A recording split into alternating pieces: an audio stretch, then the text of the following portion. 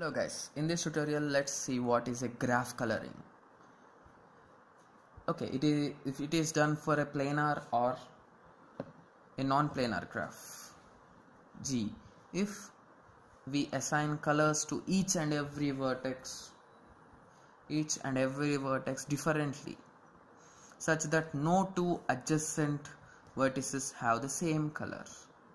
That is what is called as a graph coloring so in terms of definition, given a planar or a non-planar graph G, if we assign colors to it, its vertices in such a way that no two adjacent vertices have the same color, the graph G is properly colored. Then the graph G is properly colored. Okay, let us take a small example. Just a second. Okay, here is the example. Okay, here I have give different different colors for different different vertices see two adjacent are not same. Blue red. Red yellow. Green yellow. Yellow blue. Hence this is the coloring property of a graph. Thanks for watching